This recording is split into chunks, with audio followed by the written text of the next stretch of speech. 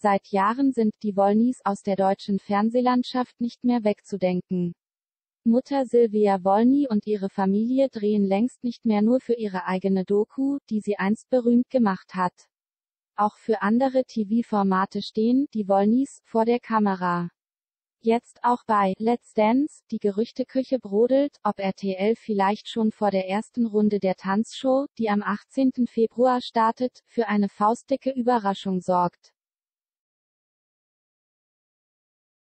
Seit über zehn Jahren drehen Silvia Wolny und ihre Familie für die RTL 2 Doku, die Wolnys, eine schrecklich große Familie.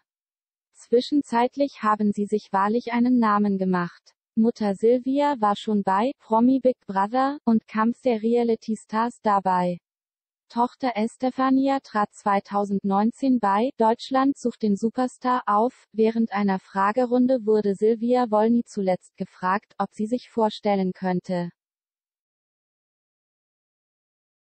auch einmal bei Let's Dance mitzumachen. Ihre Antwort ist dann doch recht eindeutig, eher nicht mit zwei linken Füßen, Kandidaten für Let's Dance stehen eigentlich fest, klingt zwar nicht nach einer endgültigen Absage für alle Ewigkeiten.